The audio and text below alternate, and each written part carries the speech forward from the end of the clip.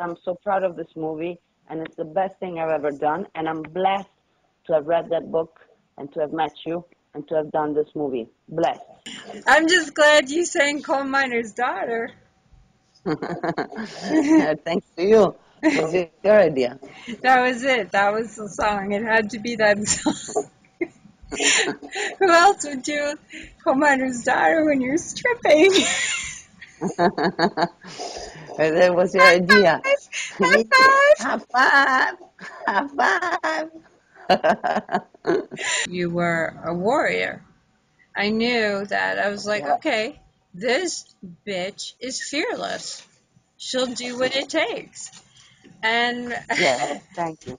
Because I underestimated the power of this character. And uh, she It's was a ironic, suffering spirit. Yeah, She was a suffering spirit. yeah.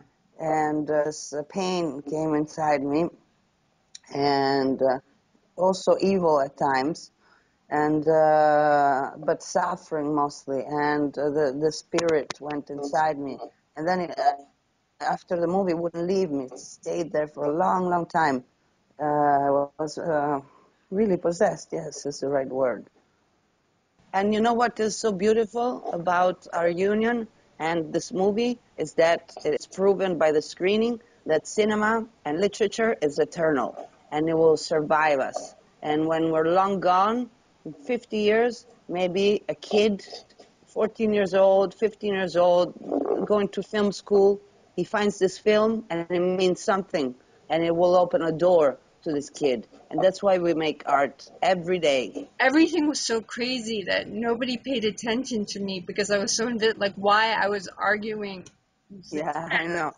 Everybody always wondered why you were arguing. Something we we've given both you and me movie totally ourselves with. And let me tell you, I've been in movies since, for almost 30 years.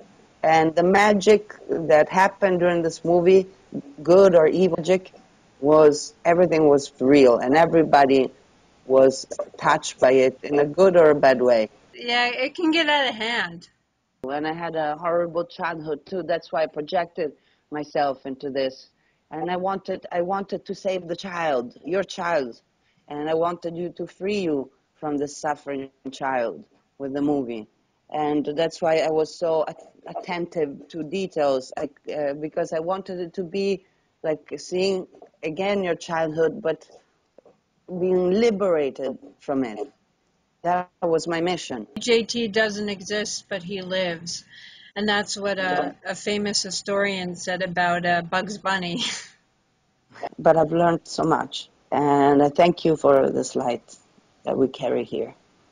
Um, I really wish I, I could be there tonight because it would be cosmic retribution for everything we went through. It wasn't easy what we did.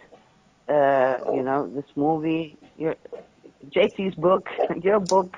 I'm so proud of this movie, and uh, I'm so proud of you for everything you've done.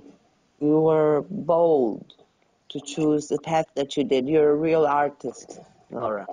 You're a real artist. I've met very few in this life.